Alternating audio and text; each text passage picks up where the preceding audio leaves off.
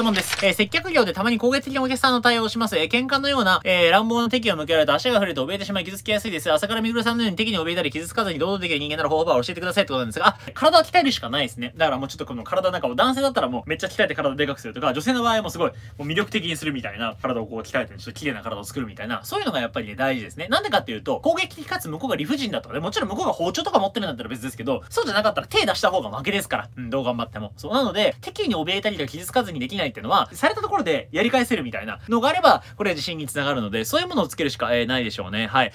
切り抜きいかがだったでしょうか？この動画の概要欄の方から今なら僕が作った D ラボ動画配信サービスですね。の無料の体験リンクと僕のオーディオブックが無料で弾けるリンク入ってます。よかったらぜひチェックしてみてください。さらにチャンネル登録のもお忘れなくそれではバイバイ。